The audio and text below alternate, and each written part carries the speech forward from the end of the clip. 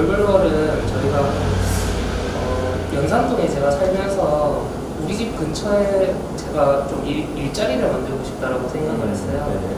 그런데 이제 일을 만들면서 동시에 저희가 같이 살고 있는 강아지들이 좀 같이 행복할 수 있는 어, 공간이 있었으면 좋겠다는 생각이 들었고 일을 하면서 강아지들까지 케어할 수 있으면 너무 좋은 행복할 것 같다라고 생각이 들었거든요.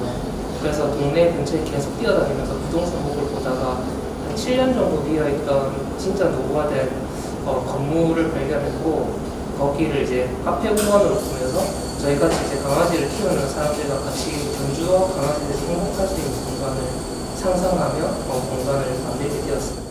카페를 하고 싶어서 카페를 시작한 건 아니고요. 제가 하고 싶은 어떤 일들이 있는데 그 과정에 필요한 것들이 어, 있어서 사업이라는 걸 시작을 했고요. 비어있던 공간이나 저평가되어 있던 공간에 청년들의 컨텐츠, 청년들의 감성을 담아서 공간 기획 사업을 시작을 했습니다. 그 사업을 하는 업체 이름이 이제 모먼츠라고 하고요. 그래서 저희가 만드는 모든 공간들은 무어머 앳더 모먼츠라는 어, 이름이 붙어 있어요. 그래서 저희가 어, 순간이라는 뜻이거든요, 모먼츠가.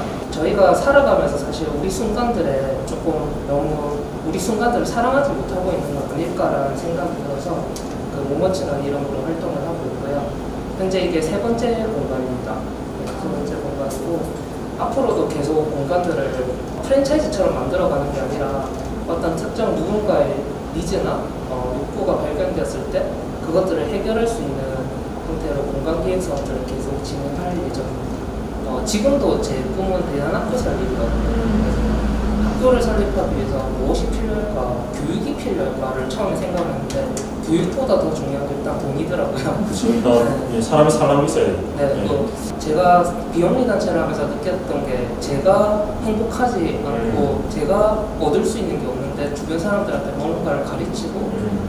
어, 내가 행복하다를 주장하는 게 어, 한국 사회에서는. 힘들더라고요. 제가 잘 나가고 뭐 대안학교 운영하면 또 벤츠 타고 다녀요. 와 대안학교 진짜 잘 나가는구나. 어, 어쨌든 사람들의 가치 평가 기준은 거기서 시, 거기서부터 시작을 그렇죠. 하니까 제가 남들이 생각하는 성공의 공전에 들지 못하면 안 되겠다는 생각이